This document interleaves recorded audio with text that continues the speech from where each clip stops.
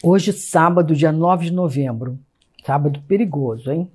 Pensando em aproveitar o dia, já que hoje é sábado, e dar uma olhada nas agências de automóvel para ver quem sabe você não troca seu carro?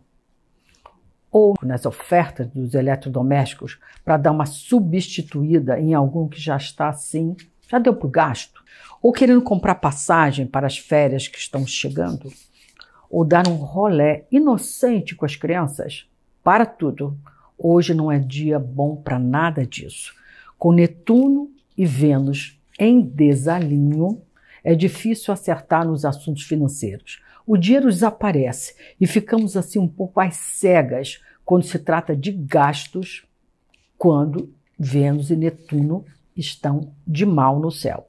Fique no básico. Querendo dar uma mexida no visual, dificilmente conseguiremos o resultado desejado. Sabe aquela coisa que na sua cabeça é uma coisa e quando você vai ver sai outra? Decepcionante.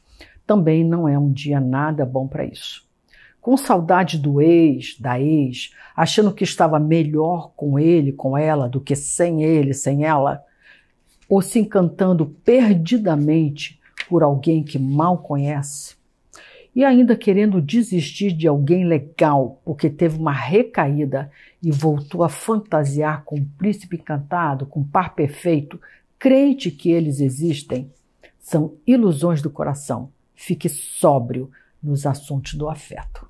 Então, pessoal, esse é o céu dessa semana. Acabei de apresentar para vocês os principais eventos celestes que estão circulando no céu dessa semana. Eu espero, como sempre, estar traduzindo da maneira assim mais prática, de uma maneira que vocês podem usar no dia a dia de vocês, o céu nosso de cada dia. Vejo vocês aqui na próxima semana.